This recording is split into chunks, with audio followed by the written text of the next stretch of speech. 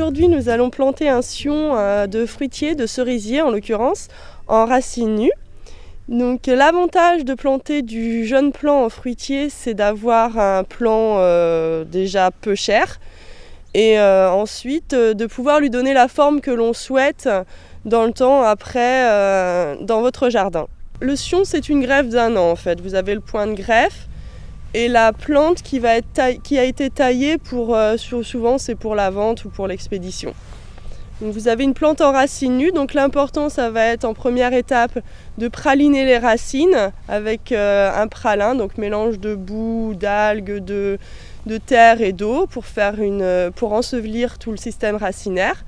La plantation en elle-même est assez simple, c'est un jeune plant, elle ne nécessite pas un trou énorme. Les erreurs à ne pas commettre pour planter un fruitier, c'est de ne pas planter trop profond. Hein. Le seul système racinaire doit être sous terre.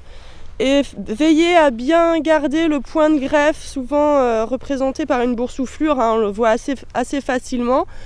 Euh, il doit vraiment être hors sol. Hein. C'est important qu'il ne soit pas en contact avec la terre humide pour éviter la pourriture. Surtout n'oubliez pas un bon suivi en arrosage sur vos fruitiers. Le paillage est aussi important si vous souhaitez euh, avoir moins d'entretien au pied de vos fruitiers. Une fois votre fruitier planté, il est bien de le pailler au pied. Un bon arrosage est bien sûr important et n'oubliez pas de suivre l'arrosage toute la première année. Dans mon jardin.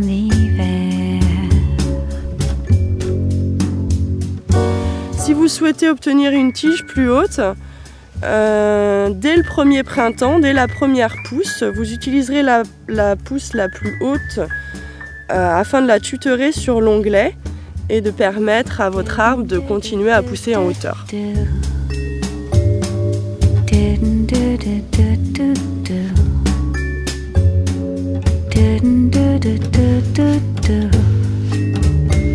Dans mon jardin.